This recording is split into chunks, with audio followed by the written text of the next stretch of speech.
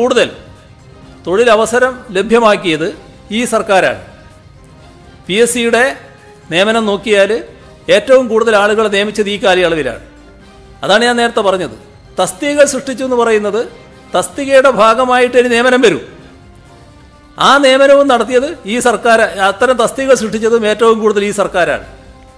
അതേപോലെ തന്നെ employment exchange വഴിയുള്ള നിയമനങ്ങളും നടത്തിയിട്ടുണ്ട്. അപ്പോൾ ഇതെല്ലാം നാട്ടിൽ തൊഴിൽ വേണ്ടവരെ ലക്ഷ്യം വെച്ചുകൊണ്ട് അവർക്ക് തൊഴിൽ ലഭിക്കണം എന്ന താല്പര്യത്തോടെ തന്നെ നടത്തിയിട്ടുള്ള കാര്യങ്ങളാണ്. അപ്പോൾ അത് നിങ്ങൾ മനസ്സിലാക്കണം. നിങ്ങളുടെ കാര്യത്തിൽ എപ്പോഴും നിങ്ങളുടെ പ്രശ്നം പരിഹരിക്കുന്നതിന് സർക്കാർ നിങ്ങളോടൊപ്പം ഉണ്ടാകും എന്നതാണ് എനിക്ക് ഉറപ്പ് നൽകാനുള്ളത്. മുഖ്യമന്ത്രി സമയമെടുത്ത് വിശദീകരിച്ചു വാർത്താ സമ്മേളനത്തിൽ. നിയമനങ്ങളിൽ കള്ളക്കളിയില്ല സ്ഥിരപ്പെടുത്തുന്നത് അർഹതയുള്ളവരെ മാത്രമാണ്. ഏറ്റവുമേറെ തൊഴിൽ പി എസ് സി വഴി നൽകിയത് ഈ സർ ചെയ്യുന്ന ഉദ്യോഗാർത്ഥിയായ ലയ ലയ രാജേഷ് അവർ നമുക്കൊപ്പം ഈ ചർച്ചയിൽ ഉണ്ട്. തത്സമയമുണ്ട്. കോൺഗ്രസ് നേതാവ് ശ്രീ അനിൽ ബോസും യുവമോർച്ചയുടെ നേതാക്കളെയും ഞങ്ങൾ ഈ ചർച്ചയിൽ പ്രതീക്ഷിക്കുന്നുണ്ട്. അഡ്വക്കേറ്റ് അനിൽ ബോസ് കോൺഗ്രസ് നേതാവ് അല്പസമയത്തിനകം നമ്മോടൊപ്പം എത്തിച്ചേരും. ആദ്യം ശ്രീമതി ലയ മുഖ്യമന്ത്രിയുടെ വാർത്താ സമ്മേളനം ശ്രദ്ധിച്ചിട്ടുണ്ടാകുമല്ലോ സ്വാഭാവികമായിട്ടും. നിങ്ങളുടെ ആവശ്യങ്ങളിൽ മേലാണ് അദ്ദേഹം കൂടുതൽ സമയമെടുത്ത് കാര്യങ്ങൾ വിശദീകരിച്ചത്. ഇപ്പോൾ സമരം നിർത്തി പിരിഞ്ഞു പോകാനുള്ളൊരു സമയമായിട്ടുണ്ട് അല്ലെങ്കിൽ അങ്ങനെ സമരം നിർത്തി പിരിഞ്ഞു പോകണം എന്ന ഒരു നിലപാടിലേക്ക് എത്തിയിട്ടുണ്ടോ സമരക്കാർ? അതായത് എല്ലാം പോസിറ്റീവായിട്ടാണ് വരിക തൊഴിൽ കിട്ടും എന്നൊക്കെയുള്ള കാര്യങ്ങൾ അദ്ദേഹം വിശദീകരിച്ചുവല്ലോ. അതുകൊണ്ട് സമരത്തിൽ നിന്ന് പിന്മാറേണ്ടുന്ന സമയമായിട്ടുണ്ടോ?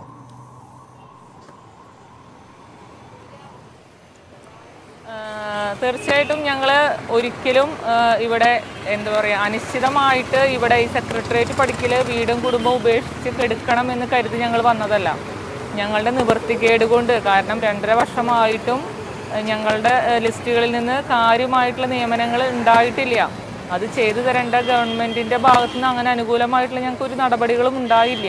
അപ്പോൾ അവസാന നിമിഷം പെരുമാറ്റച്ചട്ടം വരുന്നതിന് മുമ്പെങ്കിലും ഞങ്ങൾക്ക് എന്ത് എന്തെങ്കിലും ചെയ്തു തരുന്നുള്ള പ്രതീക്ഷയിലാണ് ഞങ്ങൾ ഇത്രയും നാളിരുന്നത്. പക്ഷേ അത് അത് ഉണ്ടായില്ലെങ്കിലോ എന്നുള്ളൊരു ഭയം കൊണ്ട് തന്നെയാണ് ഞങ്ങൾ സമരം തുടങ്ങിയത്. ഇപ്പോഴും ഞങ്ങൾ സമരം നിർത്തണം എന്നൊന്നും ഞങ്ങൾ ചിന്തിച്ചിട്ടില്ല. കാരണം ഞങ്ങൾക്കൊരിക്കലും എന്താ പറയുക വാക്കാലുള്ളതിനേക്കാളും ഞങ്ങൾക്ക് എന്തെങ്കിലും തസ്തികകളുടെ ഉത്തരവുകളോ എന്തെങ്കിലും ഇറങ്ങിയാൽ മാത്രമാണ് ഞങ്ങൾക്ക് അതൊരു ഉറപ്പ് പറ്റുള്ളൂ അല്ലെങ്കിൽ പറയണം ലാസ്റ്റ് പീരീഡിന് ഇന്ന ഇത്ര തസ്തികകൾ അല്ലെങ്കിൽ ഇത്ര ഒഴിവുകൾ ഇന്ന വകുപ്പിൽ ചെയ്യാനായിട്ട് ഞാൻ ഓർഡർ ഇറക്കാൻ പോവാണെന്നുള്ളൊരു വാക്കെങ്കിലും ഞങ്ങൾക്ക് കിട്ടണം. കാരണം പത്ത് വർഷത്തോളം ഇരുന്ന ആളുകളാണ് പിന്നീട് ആ പോസ്റ്റിനോടൊപ്പം തന്നെ സ്ഥിര ജോലിക്കാരാവുന്നത്. എല്ലാവരെയും സ്ഥിര പിന്മാതിൽ കൂടി അല്ലെങ്കിൽ മുൻമാതിൽ കൂടി അങ്ങനെയൊന്നും ഞങ്ങൾ നിർബന്ധം പിടിക്കുന്നില്ല. പക്ഷെ ഞങ്ങളുടെ അവകാശങ്ങൾ ന്യായമായിട്ടുള്ള അവകാശങ്ങൾ തന്നെയായിരുന്നു. ഇവിടെ ഇവിടെ ശ്രീമതി ലയ ഞാൻ മുഖ്യമന്ത്രി പിണറായി വിജയൻ മാത്രമല്ല ധനമന്ത്രി ഡോക്ടർ തോമസ് ഐസക്കും ഇത് സംബന്ധിച്ച് വിശദമായിട്ട് പ്രത്യേകിച്ചും താങ്കളുടെ കേസിനെ കുറിച്ച് ചൂണ്ടിക്കാട്ടിയിട്ട് അദ്ദേഹം ഒരു വിശദമായിട്ടുള്ള ഫേസ്ബുക്ക് പോസ്റ്റ് ഇട്ടിട്ടുണ്ടല്ലോ. താങ്കൾ കണ്ടിട്ടുണ്ടാകും എന്നാണ് ഞാൻ വിചാരിക്കുന്നത്. ആ, പത്രത്തിലൊക്കെ അദ്ദേഹം എഴുതിയത് ഞാൻ വായിക്കാം. പത്രത്തിലൊക്കെ ഒന്നാം പേജിൽ പരാമർശിക്കപ്പെട്ടിട്ടുള്ളതുകൊണ്ട് ലയ രാജേഷിനെ കുറിച്ചുള്ള റിപ്പോർട്ട് ശ്രദ്ധിച്ച് തന്നെ വായിച്ചു. തൃശൂർ ജില്ലയിലെ രണ്ടായിരത്തി പതിനെട്ടിലെ ലാസ്റ്റ് ഗ്രേഡ് റാങ്ക് ലിസ്റ്റിലെ അഞ്ഞൂറ്റി എൺപത്തി മൂന്നാം പേരുകാരിയാണ് ഈ കുട്ടി. അവർക്ക് ഇതുവരെ നിയമനം ലഭിച്ചില്ല. ഈ ജോലി കിട്ടിയില്ലെങ്കിൽ കൂലിപ്പണിക്ക് പോയാലും ഇനി പി എസ് സി പരീക്ഷ എഴുതില്ല എന്ന് അവർ പറഞ്ഞതാണ് റിപ്പോർട്ടിൽ കണ്ട വാചകം. അങ്ങനെ ഒരു റിപ്പോർട്ട് ഉണ്ടായിരുന്നു. വിനയത്തോടെ ചൂണ്ടിക്കാണിക്കട്ടെ ഇതൊരു ദുർവാശിയാണ്. ഓർക്കുക റാങ്ക് ലിസ്റ്റിലെ സ്ഥാനം അഞ്ഞൂറ്റി എൺപത്തി മൂന്ന് ആണ്. അന്വേഷിച്ചപ്പോൾ നാനൂറ്റി അഞ്ച് വരെ നിയമനം നടന്നിട്ടുണ്ട്. ഇനിയും ഒഴിവുകൾ റിപ്പോർട്ട് ചെയ്യുന്നതനുസരിച്ച് ബാക്കിയുള്ളവർക്ക് നിയമനം നൽകാൻ തടസ്സവുമില്ല. എല്ലാ ലിസ്റ്റും ആറുമാസം നീട്ടിയിട്ടുമുണ്ട്. ഇതിങ്ങനെ വായിച്ചാൽ ഒരു വലിയ ഗൗരവതരമായിട്ടുള്ളൊരു പ്രശ്നമല്ല ശ്രീമതി ലയ രാജേഷിന് എന്ന് തോന്നില്ലേ? അതായത് നാനൂറ്റി അഞ്ച് വരെ ആൾ റാങ്ക് ലിസ്റ്റിലുള്ള ആളുകൾക്ക് നിയമനം നൽകിയിട്ടുണ്ട്. താങ്കളുടേത് അഞ്ഞൂറ്റി എൺപത്തി മൂന്നാണ് ആറുമാസം നീട്ടിയിട്ടുമുണ്ട്. അതുകൊണ്ട് നിശ്ചയമായിട്ടും ജോലി ലഭിക്കുമല്ലോ. പിന്നെ എന്തിനാണ് നിങ്ങൾ സമരം ചെയ്യുന്നത് എന്ന തോന്നൽ നാട്ടുകാർക്കുണ്ടാകും. എന്നാണ് അതിന്റെ ഒരു വസ്തുത?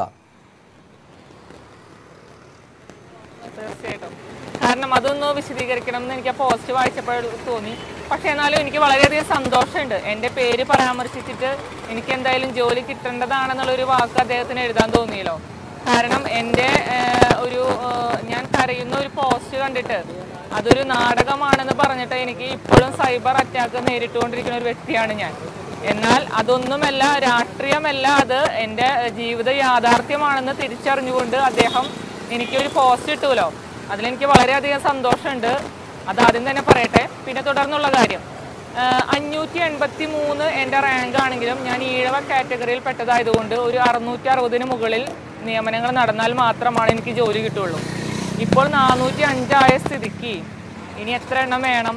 പിന്നെ ഈ ആറു മാസം നീട്ടിക്കൊടുത്ത കാലാവധിയുടെ കാര്യം പറഞ്ഞു. ആറു മാസം നീട്ടിക്കൊടുത്തു എന്ന് പറഞ്ഞാൽ ഞങ്ങളുടെ ലിസ്റ്റ് സാധാരണ അവസാനിക്കുന്നത് രണ്ടായിരത്തി ഇരുപത്തൊന്ന് ജൂൺ മുപ്പതിനാണ്. ഇപ്ര ഇപ്പോൾ നാനൂറ്റി തൊണ്ണൂറ്റി മൂന്ന് തസ്തികകളിലേക്ക് നീട്ടിക്കൊടുത്തത് പ്രകാരം എല്ലാ റാങ്ക് ലിസ്റ്റുകളും ഫെബ്രുവരി മുതൽ മാർച്ച് അല്ല ഓഗസ്റ്റ് നാല് വരെയാണ് നീട്ടിക്കൊടുത്തിട്ടുള്ളത് അങ്ങനെയാവുമ്പോൾ ഞങ്ങളുടെ ലിസ്റ്റിന്റെ കാലാവധി തീരുന്ന ജൂൺ മുപ്പത് മുതൽ ഓഗസ്റ്റ് നാല് വരെയുള്ള കാലയളവ് മാത്രമാണ് ഞങ്ങൾക്ക് കിട്ടുന്നത്. മുപ്പത്തിമൂന്നോ മുപ്പത്തിനാലോ ദിവസം മാത്രം.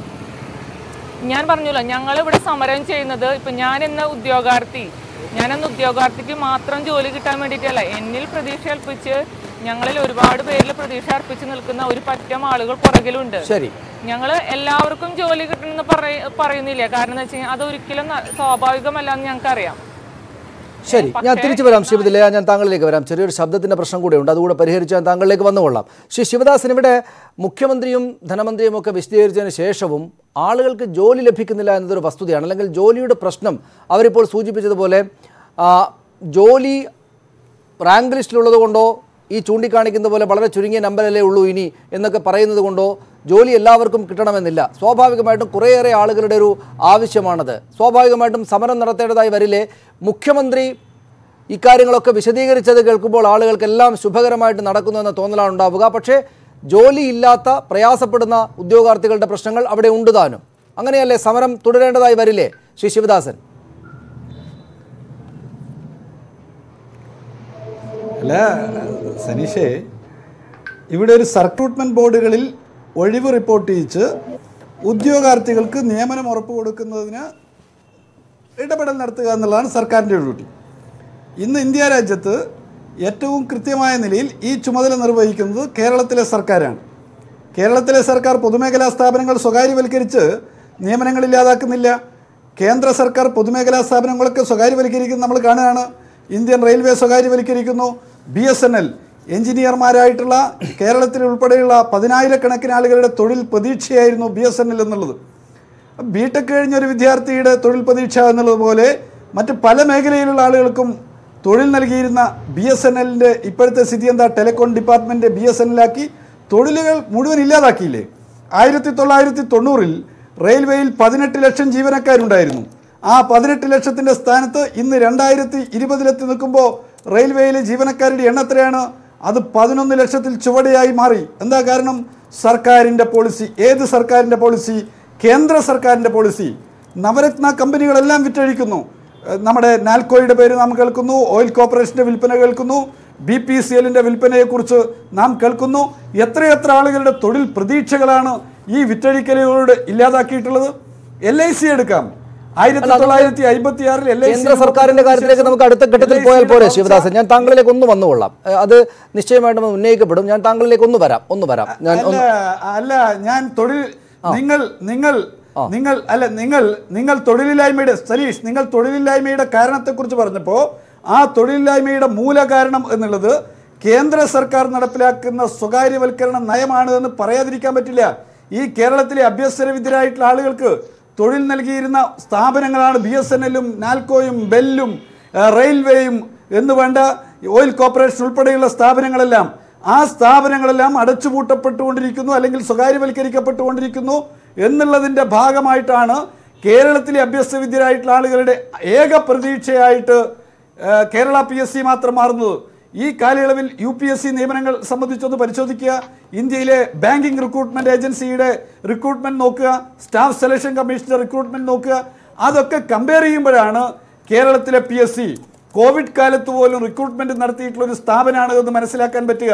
യു പി എസ് സി അപ്രഖ്യാപിത ബാൻ പ്രഖ്യാപിച്ചു. അതുപോലെ നമ്മുടെ ബാങ്കിങ് റിക്രൂട്ട്മെന്റ് മേഖലയിൽ ഉണ്ടായിട്ടുള്ള സ്ഥിതിയും വിശദീകരണം ആവശ്യമില്ല. അപ്പൊ ഈ നിലയിൽ നിൽക്കുമ്പോൾ കേന്ദ്ര സർക്കാരിന്റെ നയത്തെക്കുറിച്ച് പറയാൻ നോക്കുമ്പോൾ അവിടെ അടച്ചുപൂട്ടപ്പെട്ടുകൊണ്ടിരിക്കുന്ന സ്ഥാപനങ്ങളിലൂടെ തൊഴിൽ രഹിതരായിക്കൊണ്ടിരിക്കുന്ന ആളുകളെക്കുറിച്ചും അവിടെ തൊഴിൽ ഇനി നമുക്ക് ലഭ്യമല്ല എന്നുള്ള സത്യവും പറയാൻ നോക്കുമ്പോൾ നാം അതൊന്നും പറയേണ്ടതില്ല. നാം ഇവിടെ കേരളത്തിലെ പി എസ് സി നിയമനത്തെക്കുറിച്ച് മാത്രം ചർച്ച ചെയ്താൽ മതി എന്ന് പറയുന്നതിൽ ഒരു ചെറിയ പിശകുണ്ട്. ശരി. ശരി ചെറുതല്ലാത്ത പിശകുണ്ട്. ചെറുതല്ല ചെറിയ ചെറുതല്ലാത്ത പിശകുണ്ട്. പക്ഷേ ഞാൻ അങ്ങനെ പറഞ്ഞിട്ടില്ല. അതായത് ചർച്ച ചെയ്യേണ്ട എന്നല്ല. നമുക്ക് ആ ഭാഗത്തേക്ക് വരാമെന്നായിരുന്നു ഞാൻ പറഞ്ഞത്. ഞാൻ വരാം ശ്രീ ശിവദാസൻ. ഏതായാലും താങ്കൾ അത് നന്നായിട്ട് തന്നെ വിശദീകരിച്ചു. അടുത്തിട്ട് അനിൽ ബോസ് ഇവിടെ കേന്ദ്ര സർക്കാരിന്റെ നയങ്ങളുടെ ഭാഗമായിട്ടടക്കം തൊഴിൽ ലഭിക്കാത്തൊരു സാഹചര്യമുണ്ട് എന്ന് ശ്രീ ശിവദാസൻ വിശദീകരിക്കുന്നു. അതുകൊണ്ട് കേരള പി എസ് സിയിലേക്ക് കേരള സർക്കാർ ജോലി എന്നതിലേക്ക് നമ്മുടെ ആളുകൾ കുറച്ച് കൂടുതലായിട്ട് ഊന്നു നിൽക്കുന്ന ഒരു സാഹചര്യം ഉണ്ടാകുന്നു. പക്ഷേ ഈ പറയുന്ന കോവിഡും പ്രളയവും ഒക്കെ ഉണ്ടായിട്ട് പോലും ഒരു ലക്ഷത്തി അൻപത്തി അയ്യായിരം നിയമനങ്ങൾ ഈ സർക്കാരിന്റെ കാലത്ത് പി എസ് സി മുഖേന നടത്തിയെന്നാണ് മുഖ്യമന്ത്രി വാർത്താ സമ്മേളനത്തിൽ വിശദീകരിച്ചത്. പക്ഷേ എന്നിട്ട് പോലും ഈ സമരം നടക്കുന്നതിന് പിന്നിൽ രാഷ്ട്രീയമായ ലക്ഷ്യങ്ങളുണ്ട് എന്നുകൂടെ അദ്ദേഹം പറഞ്ഞു വെച്ചു. ഇനിയിപ്പോൾ ഇത്രക്ക് ആ, നല്ല വ്യക്തതയോടുകൂടി അദ്ദേഹം വിശദീകരിച്ച സ്ഥിതിക്ക് ഈ സമരങ്ങൾ പിൻവലിക്കണം എന്ന് അവരോട് ആവശ്യപ്പെടുകയല്ലേ നമ്മൾ വേണ്ടത്? സനീഷെ മുഖ്യമന്ത്രി കസേരയിൽ നിന്നുകൊണ്ട് പറയുന്ന കാര്യങ്ങൾ കേട്ട് കഴിഞ്ഞാൽ ആളുകൾക്ക് വലിയ ആധികാരികത അതിന്റെ അകത്ത് കൃത്യമായ രേഖകളുടെയും വ്യക്തമായ സാക്ഷ്യങ്ങളുടെയും അടിസ്ഥാനത്തിലാണ് അദ്ദേഹം പറയുന്നതെന്ന് തോന്നുകയും ചെയ്യും. അതുകൊണ്ട് ഉടനെ തന്നെ ഇതെല്ലാം അവസാനിച്ചു പോകണം എന്ന് സനീഷ് പറയുന്നതിനോട് എനിക്ക് യോജിക്കാൻ കഴിയില്ല. എന്തുകൊണ്ടാണ് എന്ന് ഞാൻ പറയാം. കേരളത്തിലെ സർക്കാരിന്റെ കീഴിലുള്ള ഏറ്റവും പ്രധാനപ്പെട്ട ഒരു സ്ഥാപനമാണ് Kerala state financial enterprises K S F. കേരളത്തിൽ എനിക്ക് എന്റെ അറിവിൽ അറുന്നൂറ്റി മുപ്പത്തിയെട്ടോളം ബ്രാഞ്ചുകൾ ഉണ്ടെന്നാണ് ഞാൻ മനസ്സിലാക്കുന്നത്.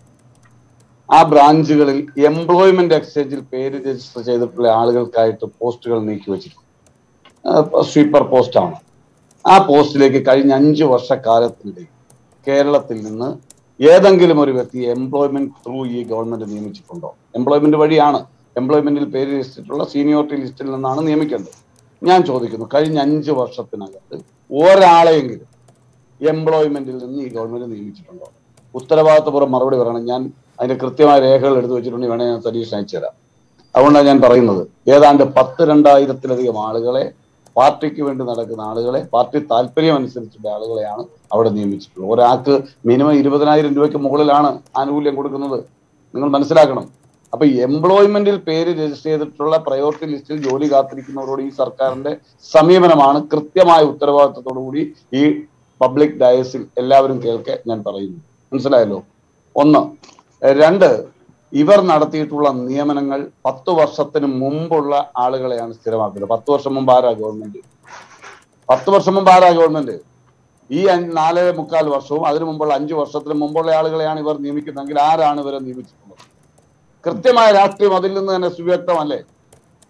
വി എസ് അച്യുതാനന്ദ നേതൃത്വത്തിലുള്ള ഗവൺമെന്റിന്റെ കാലയളവിൽ ഇവർ നിയമിച്ചിട്ടുള്ള ആളുകളെ അവർ മഹത്വവൽക്കരിച്ചുകൊണ്ട് ഇപ്പോൾ വലിയ കരുണയാണ് അവരോട് കാണിക്കേണ്ട സഹാനുഭൂതിയാണ് എന്ന് പറഞ്ഞുകൊണ്ട് കിട്ടിയ അവസരത്തിൽ പഴയ നിയമനങ്ങളെ സാധൂകരിക്കല്ലേ ചെയ്യുന്നത് അത് കൃത്യമായ രാഷ്ട്രീയമില്ലേ? പക്ഷേ അവിടെ ശ്രീ അനിൽ ബോസ് അവിടെ എനിക്കൊരു ചോദ്യമുണ്ട്. താങ്കൾ ആദ്യം പറഞ്ഞ പോയിന്റ് ശരിയാണ്. പക്ഷേ അവിടെ എനിക്കൊരു ചോദ്യമുണ്ട്. ശ്രീ അനിൽ ബോസ് ഇവിടെ ഒരു മുപ്പതാമത്തെ വയസ്സിൽ ജോലിക്ക് കയറി ഈ താൽക്കാലികമായ ജോലിക്ക് കയറി വളരെ താഴെയുള്ള താഴെ കുറഞ്ഞ ശതമാ കുറഞ്ഞ ശമ്പളം മാത്രമുള്ള വേതനമുള്ള ജോലിയിൽ കയറി. പത്ത് വർഷത്തിന് ശേഷം അവർക്ക് നാൽപ്പത് വയസ്സ് ആയതിനു ശേഷം അവരെ സ്ഥിരപ്പെടുത്തുക എന്നത് ഈ പറയുന്ന പോലെ ഒരു മാനുഷികമായ പരിപാടിയല്ല. അതിപ്പോൾ യു ഡി എഫിന്റെ സർക്കാരാണെങ്കിലും അത് ചെയ്യുകയില്ലേ?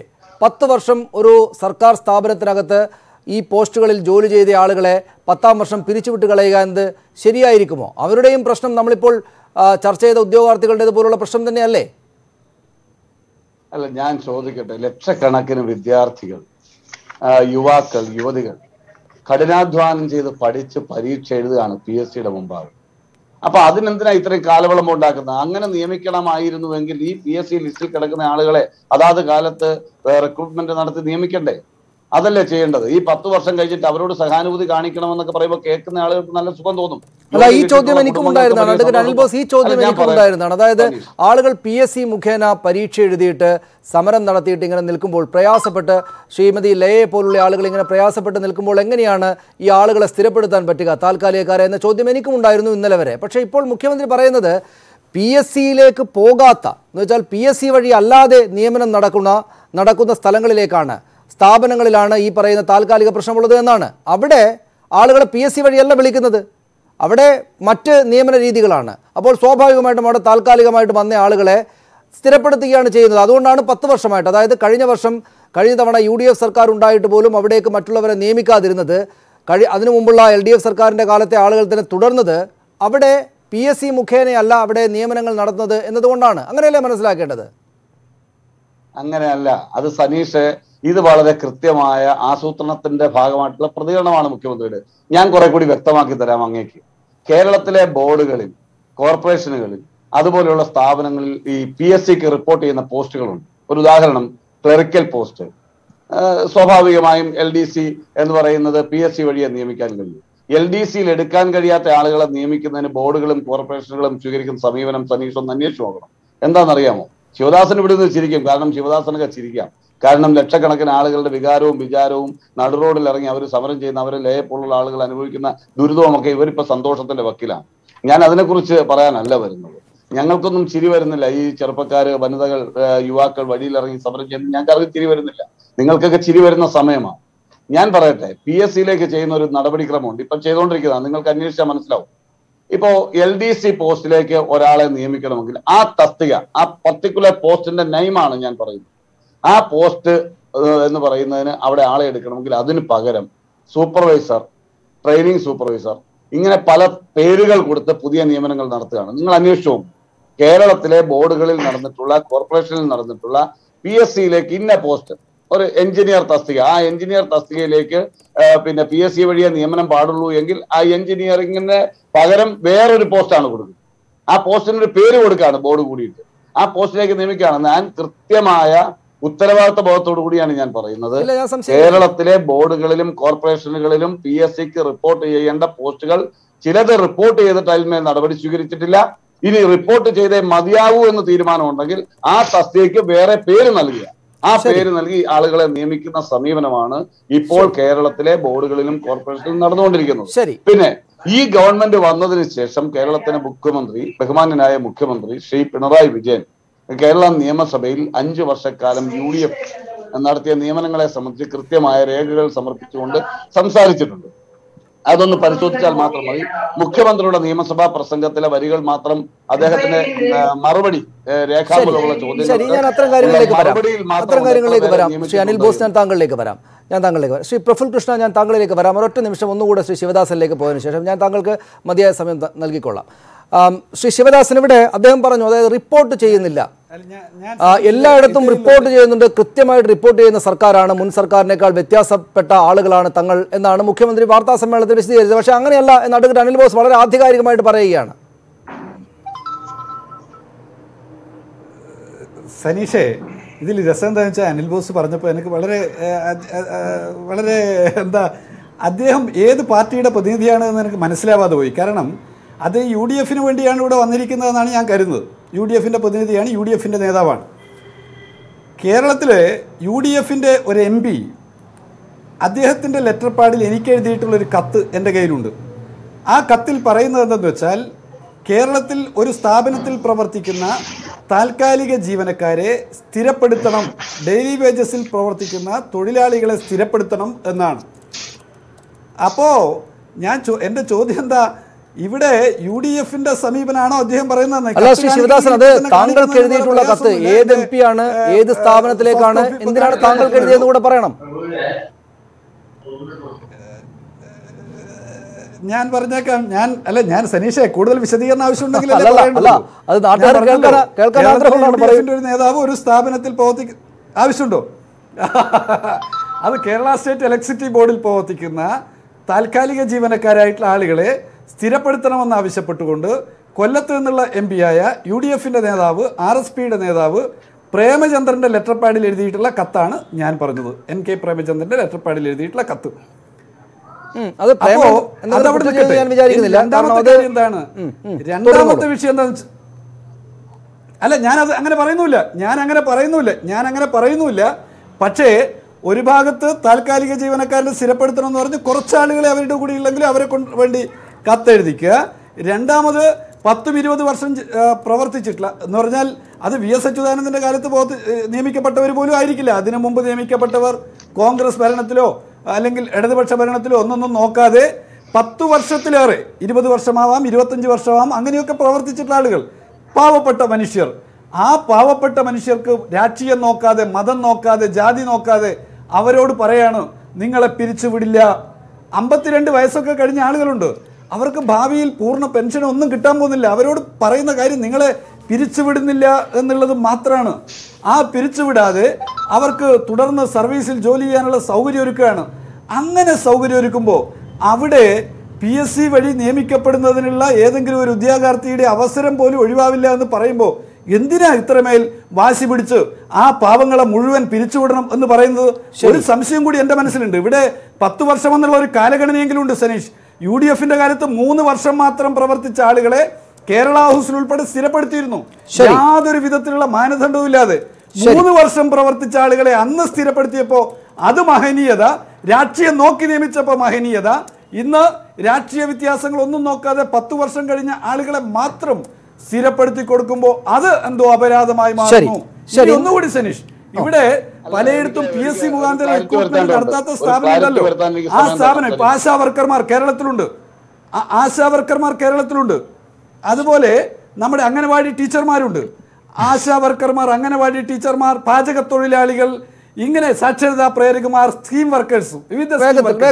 ഇവരെയൊക്കെ നിയമിക്കുന്നത് പി എസ് സി പട്ടികയിൽ പെടുത്തിയല്ലോ വ്യത്യസ്ത സംവിധാനങ്ങളോടുകൂടിയാണ്. ഈ വ്യത്യസ്ത സംവിധാനങ്ങളോടുകൂടി ഇവരെ ഇത്തരത്തിലുള്ള സ്ഥാപനങ്ങളിൽ നിയമിക്കപ്പെട്ടു കഴിഞ്ഞാൽ ഒരു അഞ്ചും പത്തും വർഷം കഴിഞ്ഞാൽ ഇവരെല്ലാം പിരിഞ്ഞു പോകണമെന്ന് പറയുമ്പോൾ അതിലൊരു മാനുഷിക വിരുദ്ധതയുണ്ട്. ആ പറഞ്ഞ പോയിന്റിനോട് ഞാൻ യോജിക്കുകയാണ്. ശ്രീ എൻ കെ പ്രേമേന്ദ്രൻ ആവശ്യം അതും വളരെ കാര്യമായിട്ടാണ് ഞാൻ വിചാരിക്കുന്നത്. ഞാൻ അല്ല, തിരിച്ചു വരാം. ഞാൻ തിരിച്ചു വരാം. ശ്രീ- അനിൽ ബോസ് ഞാൻ താങ്കളിലേക്ക് വന്നുകൊള്ളാം ഞാൻ താങ്കളിലേക്ക് വന്നുകൊള്ളാം താങ്കൾക്ക് വിശദീകരിക്കാനുള്ള സമയം തരാം ശ്രീ പ്രഫുൽ കൃഷ്ണ കുറെ നേരമായിട്ട് അവിടെ ഇരിക്കുകയാണ്. ഞാൻ താങ്കളിലേക്ക് വരാം. പ്രത്യേകിച്ചും കേന്ദ്ര സർക്കാരിനെതിരെ ശിവദാസൻ ചില പരാമർശങ്ങൾ നടത്തിയിട്ടുമുണ്ട്. ഞാൻ ശ്രീ പ്രഫുൽ കൃഷ്ണ അദ്ദേഹം പറയുന്നത് താങ്കൾ കേട്ട് കാണും. കേന്ദ്ര സർക്കാർ മുൻകാലങ്ങളിൽ കൊടുത്തിരുന്ന തൊഴിലെല്ലാം അടച്ചു വെച്ചിരിക്കുകയാണ്. സ്വാഭാവികമായിട്ടും കേരളത്തിലേക്ക് കൂടുതലായിട്ട് ശ്രദ്ധ വരുന്നു. ആളുകൾക്ക് ആവശ്യമുണ്ട് തൊഴിൽ. പക്ഷേ അപ്പോഴും ഇത്രയേറെ പി എസ് സി വഴി നിയമനങ്ങൾ നടത്തിയ ആകാവുന്ന കാര്യങ്ങളെല്ലാം ചെയ്ത ഒരു സർക്കാരിനെതിരെ യുവമോർച്ച അടക്കമുള്ള ആളുകൾ സമരം ചെയ്യുന്നത് ശരിയാണോ എന്ന് നാട്ടുകാർ ചോദിച്ചാൽ എന്തായിരിക്കും മറുപടി? ശ്രീ സനീഷ് ഇവിടുത്തെ യഥാർത്ഥ പ്രശ്നം എന്താണ്? ഇത്രയും പതിനായിരക്കണക്കിന് ഉദ്യോഗാർത്ഥികൾ ഈ പൊരിവെയിലത്ത് തെരുവിൽ സമരം ചെയ്യേണ്ടി വന്നിരിക്കുന്ന സാഹചര്യം എങ്ങനെയാണ് ഉണ്ടായിട്ടുള്ളത്? കാരണം ഇവിടെ മുഖ്യമന്ത്രി തന്നെ ഇന്ന് പറഞ്ഞത് ഒരു ലക്ഷത്തി അമ്പതിനായിരത്തിലധികം ആളുകൾക്ക് നിയമന ശുപാർശ അയച്ചു എന്നാണ്. അത് ഒരു വർഷം ഇരുപത്തയ്യായിരം പേർക്ക് തൊഴിൽ നൽകാൻ സാധിക്കുള്ളൂ. ഇപ്പൊ ഇതാ ഒരു ലക്ഷത്തി അമ്പത്തി ഏഴായിരത്തോളം ആളുകൾക്ക് തൊഴിൽ നൽകി കഴിഞ്ഞിരിക്കുന്നു. കൊടുക്കാൻ പറ്റുന്നതിന്റെ മാക്സിമം ആണ് ഈ സർക്കാർ നൽകിയിരിക്കുന്നത് എന്നാണ് മുഖ്യമന്ത്രി പറഞ്ഞിരിക്കുന്നത്. എത്ര പച്ച കള്ളമാണ് ഈ മുഖ്യമന്ത്രി പറയുന്നത്. കാരണം കഴിഞ്ഞ കഴിഞ്ഞ കാലങ്ങളിലെ നിയമന കണക്കുകളൊക്കെ എടുത്തൊന്ന് പരിശോധിക്കണം. ഏറ്റവും കുറഞ്ഞ നിയമനം നടന്നിട്ടുള്ള ഒരു ഒരു കാലഘട്ടമല്ലേ ഈ പിണറായി സർക്കാരിന്റെത് കാരണം ഒരു ലക്ഷത്തി അമ്പത്തി ഏഴായിരം നിയമന ശുപാർശകൾ എന്ന് പറയുമ്പോൾ ശ്രീ സനീഷ് അത് ഒരു ലക്ഷം പോലും നിയമനങ്ങൾ നൽകിയിട്ടുണ്ടാകില്ല. ഒരു ലക്ഷം പോലും ആളുകൾക്ക് സർക്കാർ ജോലി കിട്ടിയിട്ടുണ്ടാകില്ല. എന്തുകൊണ്ട് ആളുകൾ തെരുവിലിറങ്ങിയത്? നിങ്ങൾ നോക്കൂ എൽ ജി എസിന്റെ റാങ്ക് ലിസ്റ്റിന്റെ ഒരു കണക്ക്. ആ കണക്ക് അമ്പത് ശതമാനം പോലും നിയമനം കഴിഞ്ഞ സർക്കാരിന്റെ കാലത്ത് കഴിഞ്ഞ വർഷങ്ങളിലുള്ള അൻപത് ശതമാനം പോലും നിയമനം ഈ വർഷം കൊടുക്കാൻ സാധിച്ചിട്ടില്ല. ഈ ഈ കാലഘട്ടത്തിന്റെ ഒരു പ്രത്യേകത എന്താ? ഏറ്റവും കൂടുതൽ റിട്ടയർമെന്റുകൾ ഉണ്ടായിട്ടുള്ള വർഷമാണ്. ഈ സർക്കാർ പോലും ഇത്രയും ആളുകൾ റിട്ടയർ ചെയ്യുമ്പോൾ അവർക്ക് പെൻഷൻ കൊടുക്കാൻ സാധിക്കില്ല. അവർക്ക് വലിയ തുക കൊടുക്കേണ്ടി വരും. അതുകൊണ്ട് റിട്ടയർമെന്റ് പ്രായം ഉയർത്തണം എന്നൊക്കെ ആലോചിച്ചത് അതിന്റെ അടിസ്ഥാനത്തിലാ. നിങ്ങൾ നോക്ക് രണ്ടായിരത്തി പതിനെട്ട് ഇരുപത്തി ഒന്ന് ലാസ്റ്റ് ഗ്രേഡ് സർവൻസിന്റെ ലിസ്റ്റിൽ ഉൾപ്പെട്ട ആളുകൾ നാൽപ്പത്തി ആറായിരത്തി ഇരുന്നൂറ്റി എൺപത്തി അഞ്ച് പേരാണ്. നിയമനം കിട്ടിയിരിക്കുന്നത് അയ്യായിരത്തി മുന്നൂറ്റി അറുപത്തി ആറ് പേർക്ക് മാത്രമാണ് അമ്പത് ശതമാനം പോലും ഇല്ല പക്ഷെ ഇതിന്റെ മുൻ വർഷങ്ങളിലെ കണക്ക് നോക്ക്. പന്ത്രണ്ടായിരത്തി തൊള്ളായിരത്തി അമ്പത്തി ഒമ്പത് പേർക്ക് നിയമനം കിട്ടിയിരുന്നു.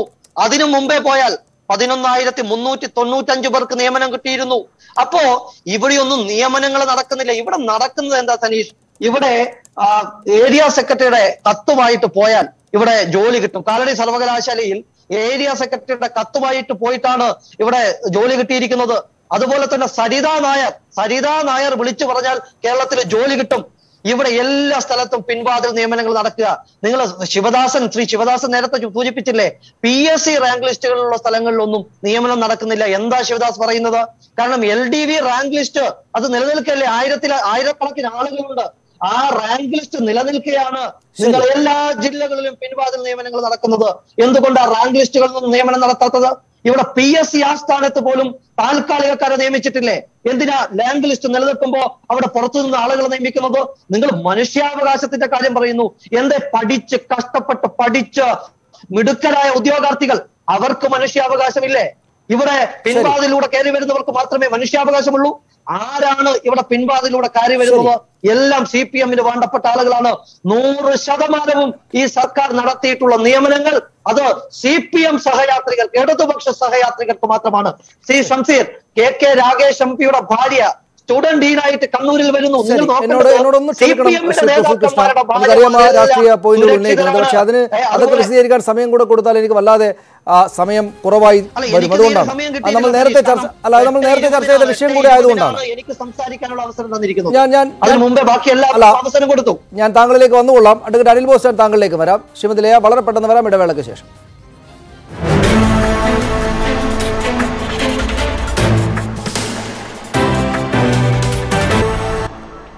അഡ്വക്കേറ്റ് അനിൽ ബോസ് താങ്കൾക്ക് പറയാനുള്ളത് പറയാമോ? നേരത്തെ ശിവദാസൻ പറഞ്ഞ കാര്യങ്ങൾക്ക് മറുപടിയായിട്ട്. ഒന്ന് എനിക്ക് ശിവദാസനോട് അഭ്യർത്ഥിക്കാനുള്ളത് ശ്രീ എൻ കെ പ്രേമേന്ദ്രൻ നൽകിയ കത്ത് അദ്ദേഹം പുറത്തുവിടും. അതെന്തിനാണെന്ന് ചോദിച്ചാൽ എന്താണ് ആ കത്തിൽ എഴുതിയിരിക്കുന്നതെന്ന് പൊതുസമൂഹം അറിയുന്നത് നല്ലതായി താൽക്കാലിക നിയമനത്തിന് അദ്ദേഹം ശുപാർശ ചെയ്തിട്ടുണ്ടെങ്കിൽ അത് ജനം അറിഞ്ഞോട്ടെ. കാരണം എന്താ വെച്ചാൽ ആ കത്തൊന്ന് പുറത്തുവിട്ടാൽ അതിന്റെ അകത്ത് എന്താണ് കണ്ടന്റ് എന്ന് അറിയണം. കത്ത് കൊടുത്തു എന്നുള്ളത് ശരിയായിരിക്കാം. അതിന്റെ അകത്ത് കണ്ടന്റിന് വലിയ ഇമ്പോർട്ടൻസ് ഉണ്ടാവും. കാരണം അതോടൊപ്പം ഒരു നിവേദനം അറ്റാച്ച് ചെയ്തിട്ടുണ്ടാവും. എനിക്കറിയില്ല. സാധാരണ എം പിമാർ കൊടുക്കുമ്പോൾ അല്ല അഡ്വക്കേറ്റ് അനിൽ ബോസ് അത് അത് ഇപ്പോൾ. താൽക്കാലിക ജീവനക്കാരെ സ്ഥിരപ്പെടുത്തണമെന്ന ആവശ്യമാണ് അത് തെറ്റാണെന്ന് പറയാൻ പറ്റുമോ? ഞാൻ പറയട്ടെ ഞാൻ പറയട്ടെ. ഞാൻ പറയട്ടെ സനീഷേ. ഞാൻ പറഞ്ഞത് എം പിമാരോ എം എൽ എമാരോ മന്ത്രിമാരോ ഏത് പാർട്ടിയിലാണെങ്കിലും ശുപാർശ ചെയ്യുന്നതിനെ ന്യായീകരിക്കല്ലോ ഞാൻ ചെയ്തത്. ഞാൻ പറഞ്ഞത് ഏത് സാഹചര്യത്തിലാണ് കത്ത് കൊടുത്തിട്ടുള്ളത് അങ്ങനെ കത്ത് കൊടുത്തിട്ടുണ്ടെങ്കിൽ അതിനോട് അറ്റാച്ച് ചെയ്തിട്ടുള്ള നിവേദനത്തിൽ എന്തൊക്കെ കാര്യങ്ങളാണ് സൂചിപ്പിച്ചിട്ടുള്ളത് എന്നും കൂടി പറയണം. കാരണം അത്ര ഉത്തരവാദിത്തപൂർവം നിൽക്കുന്ന ഒരു നേതാവിനെതിരെ ആക്ഷേപം ഉന്നയിക്കുമ്പോൾ അത് കുറെ കൂടി വ്യക്തത വരുത്തണം. അല്ല എന്റെ എന്റെ ചോദ്യം എന്നോടൊന്ന് ക്ഷമിക്കണം അനിൽ ബോസ് ഞാൻ ഈ ചോദ്യം ചോദിക്കുന്നത്. അതായത് അങ്ങനെ അങ്ങനെ താൽക്കാലികമായിട്ട് തുടരുന്ന ജീവനക്കാരെ സ്ഥിരപ്പെടുത്തണം എന്നൊരു എം പിയോ ഒ എം എൽ എയോ ആവശ്യപ്പെടുന്ന ഒരു ആക്ഷേപമാണ് എന്ന് വിചാരിക്കേണ്ടതുണ്ടോ? താങ്കൾക്ക് അങ്ങനെ അഭിപ്രായമുണ്ടോ? അല്ല ഞാൻ പറയട്ടെ സനീഷ് എന്നോട് വിശദീകരിക്കേണ്ട. നമ്മൾ തമ്മിൽ ഡിബേറ്റും വേണ്ട കാര്യത്തിൽ. അങ്ങനെ ഒരു ഉത്തരവാദിത്തപ്പെട്ട ഒരു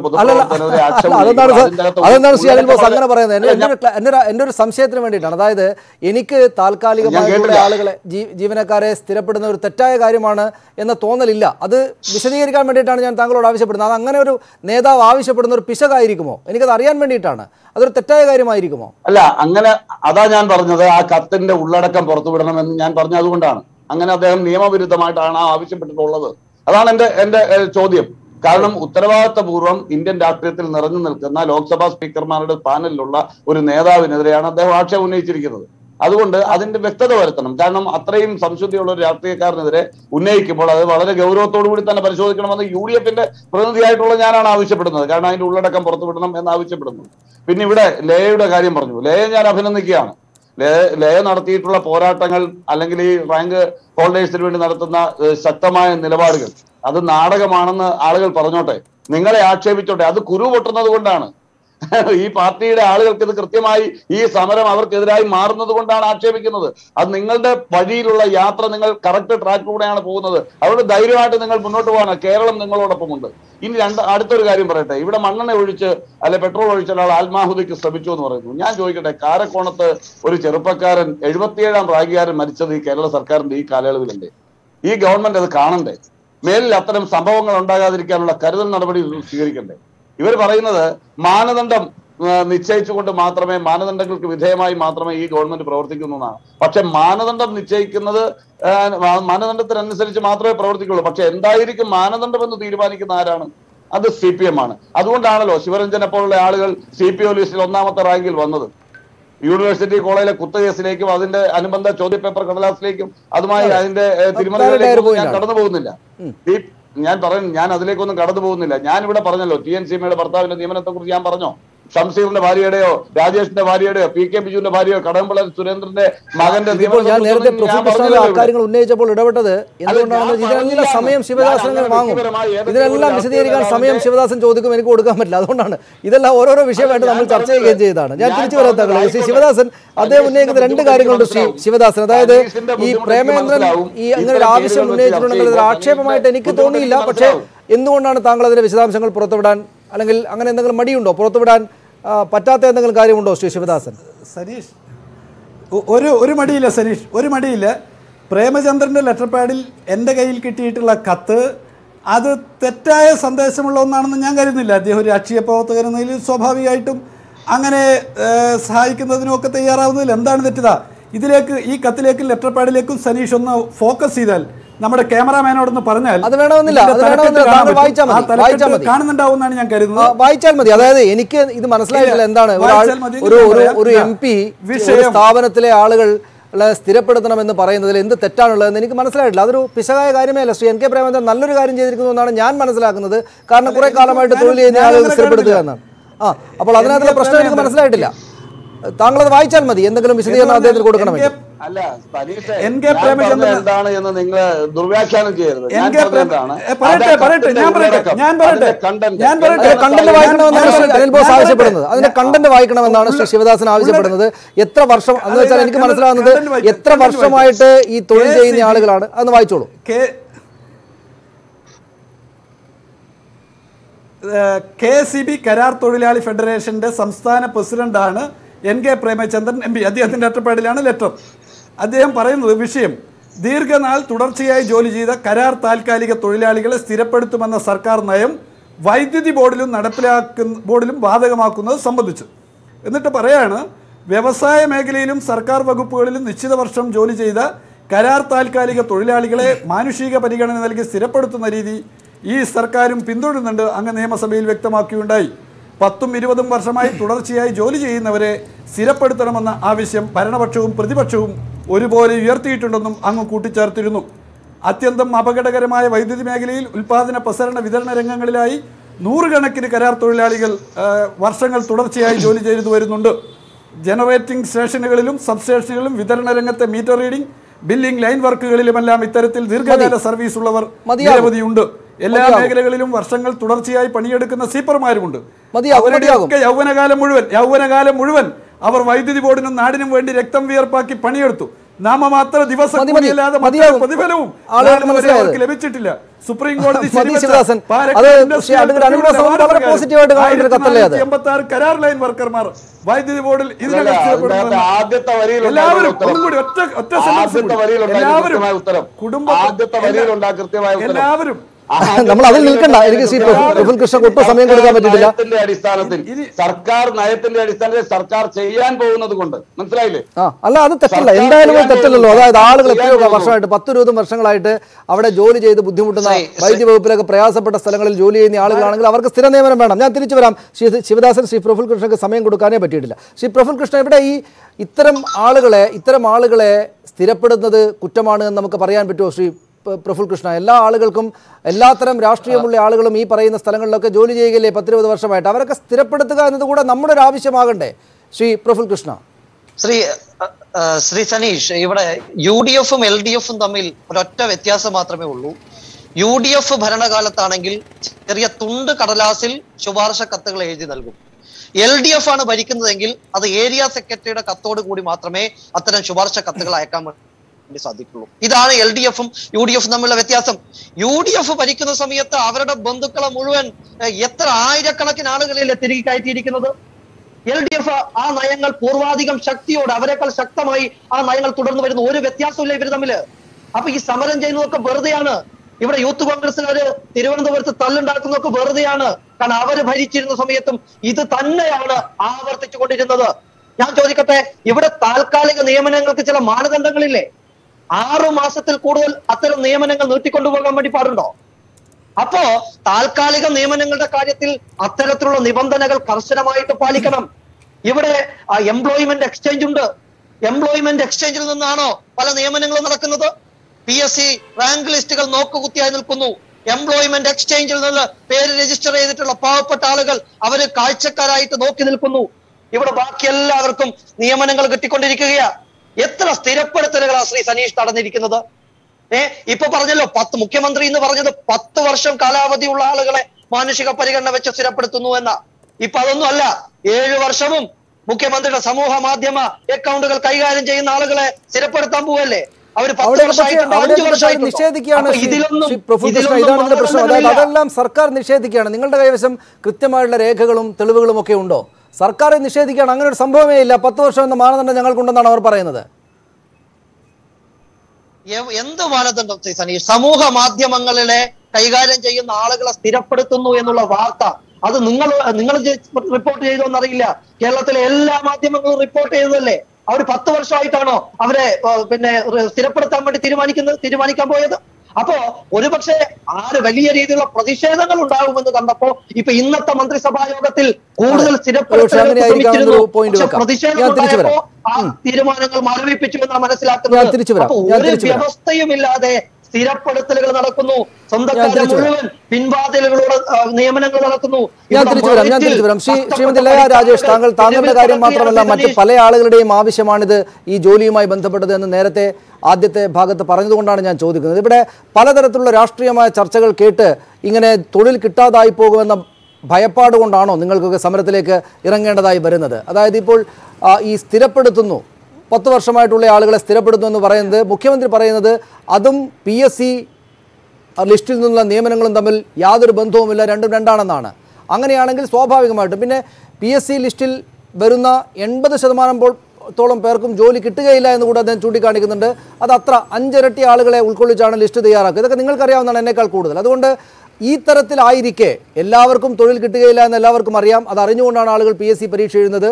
ഈ താൽക്കാലികക്കാരെ സ്ഥിരപ്പെടുന്നത് പി എസ് സി വഴിയുള്ള തൊഴിൽ നൽകുന്ന സംവിധാനങ്ങളുടെ ഭാഗമായിട്ടുള്ളതല്ലതാനും. അപ്പോൾ ഇതെല്ലാം കൂടെ കൂടിക്കുഴഞ്ഞ് ഒരു രാഷ്ട്രീയ ചർച്ചകളുടെയൊക്കെ ഭാഗമായിട്ട് വരുന്നത് കൊണ്ട് തെറ്റിദ്ധരിക്കപ്പെട്ടാണോ ആളുകൾ സമരത്തേക്ക് വരുന്നത് എന്ന ചോദ്യമുണ്ട്. ഉത്തരം എന്താകും? ഒരിക്കലുമല്ല ഒരിക്കലുമല്ല. തീർച്ചയായിട്ടും ഒരു റാങ്ക് ഹോൾഡർക്ക് കൃത്യമായിട്ട് അതായത് ഒരു റാങ്ക് ലിസ്റ്റിൽ വന്ന് അതിന്റെ കാര്യങ്ങൾ കൃത്യമായി ഫോളോ ചെയ്യുന്ന ഒരാൾക്ക് ആളെ ഒരാൾക്കും തെറ്റിദ്ധരിപ്പിക്കാൻ പറ്റില്ല. കാരണം ഞങ്ങളിൽ നിന്നാണ് പല ചർച്ചയ്ക്കും വരുമ്പോൾ പലരും വിവരങ്ങൾ ചോദിച്ചറിയാറ്. അപ്പം ഞങ്ങളാണ് മറ്റുള്ളവർക്ക് അറിവ് പകർന്നു കൊടുക്കുന്നത് റാങ്ക് ലിസ്റ്റുകളുടെ കാര്യങ്ങൾ അക്കാര്യത്തിൽ ഒരു സംശയവുമില്ല. ഞങ്ങൾ ആരും തെറ്റിദ്ധരിപ്പിച്ചിട്ടല്ല. ഞങ്ങൾക്ക് സ്വയം ഞങ്ങൾക്ക് ഓരോ കണക്ക് കൂട്ടലുകളുണ്ട് ഞങ്ങളുടെ റാങ്ക് ലിസ്റ്റുകളുടെ കാര്യത്തിൽ എങ്ങനെയൊക്കെയാണെന്നുള്ളത് അത് പരിഹരിക്കാനുള്ള കാര്യങ്ങളും ഞങ്ങൾക്ക് വ്യക്തമായിട്ട് എങ്ങനെയാണെന്നുള്ളതും അതിനെ അത് എന്താണെന്നുള്ളതും ഞങ്ങൾ ഒരുപാട് നിവേദനങ്ങളായിട്ട് കൊടുക്കാറുണ്ട്. അപ്പം ഞാനിതിപ്പോൾ ആദ്യം തന്നെ പറഞ്ഞു ഇപ്പം ഭരണ എന്താ പറയുക പിന്മാതിൽ നിയമനങ്ങളുടെ കാര്യം. പിന്മാതിൽ നിയമനങ്ങൾ നടത്തുന്നത് പി എസ് സി വഴിയല്ല എന്ന് പറയുന്നുണ്ട്. നിലവിൽ ലാസ്റ്റ് ഗ്രേഡ് ലിസ്റ്റിലെ പുതിയ തസ്തികകൾ ഒന്നും രണ്ടര വർഷക്കാലമായിട്ട് സൃഷ്ടിച്ചിട്ടില്ല. Legal metrology R T O assistant joint registrar അങ്ങനെ പോക്സോ കോടതി അങ്ങനെയുള്ള ഓഫീസുകളിൽ തസ്തിക സൃഷ്ടിച്ചു. പക്ഷേ അത് സാങ്ഷൻഡ് അല്ല താൽക്കാലികമാണ്. ഓഫീസ് അറ്റൻഡ് തസ്തിക താൽക്കാലികമായിട്ടാണ് സൃഷ്ടിച്ചത്. അത് എംപ്ലോയ്മെന്റ് വഴിയോ അല്ലെങ്കിൽ ഏതെങ്കിലും ശുപാർശ വഴിയോ അവർക്കായിരുന്നു.